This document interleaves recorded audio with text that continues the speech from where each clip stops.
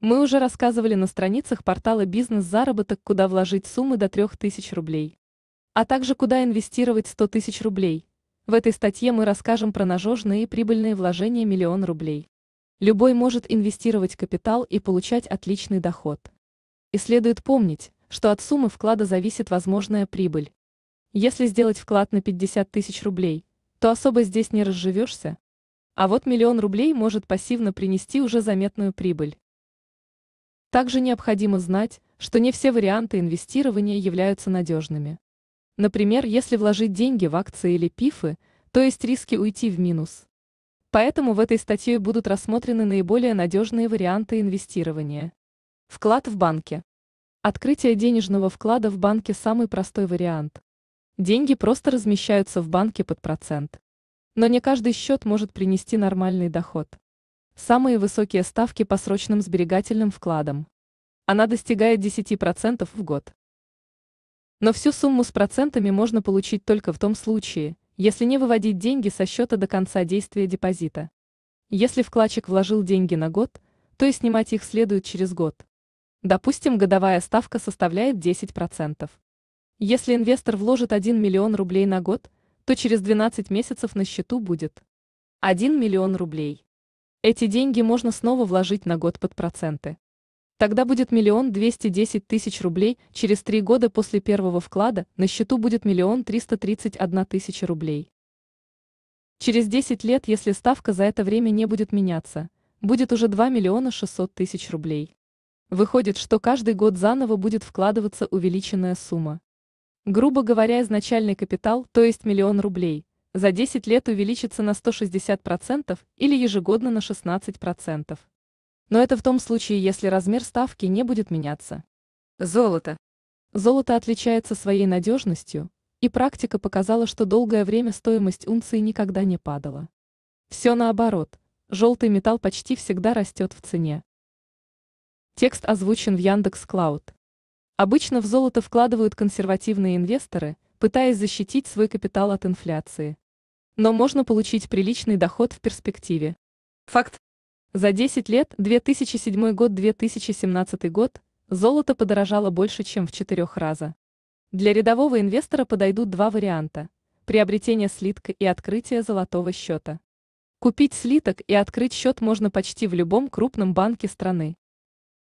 При покупке слитка требуется уплатить налог, но такой вариант инвестирования называют наиболее надежным. Ведь если золото числится только на бумаге, как в случае с металлическим счетом, то есть риски потери капитала, так как такие ОМС не страхуются.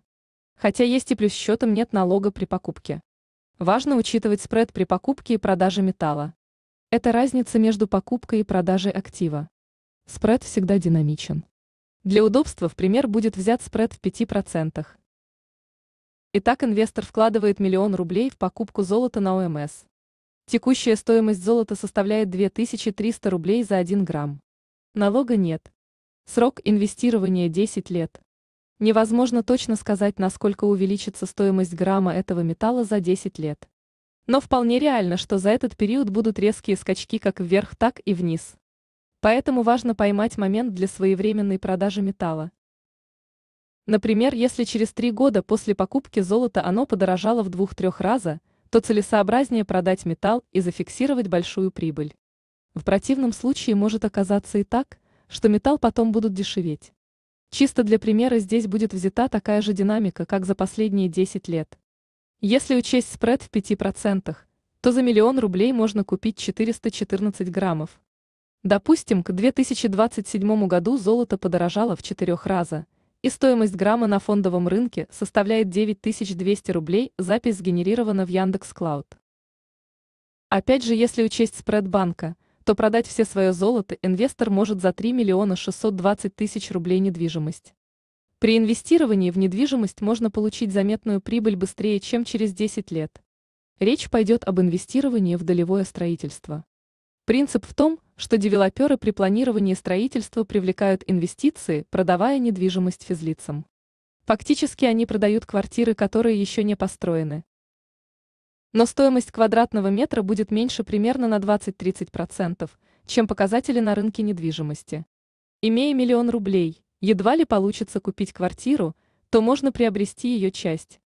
Например, если стоимость квадратного метра на рынке составляет 50 тысяч рублей, то девелопер предложит его примерно за 40 тысяч рублей, тогда за миллион рублей инвестор может купить 25 квадратных метров. Взамен он получит сертификат, который после окончания строительства можно обменять на деньги. Есть тут небольшая проблема.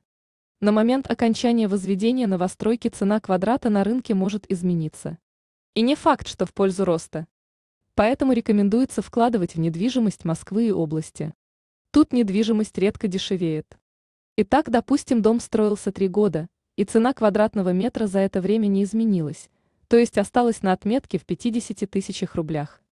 Тогда инвестор может обменять сертификат на деньги, то есть фактически продать свои 25 КВМ и получить уже миллион двести пятьдесят тысяч рублей, озвучено Яндекс Спичкит.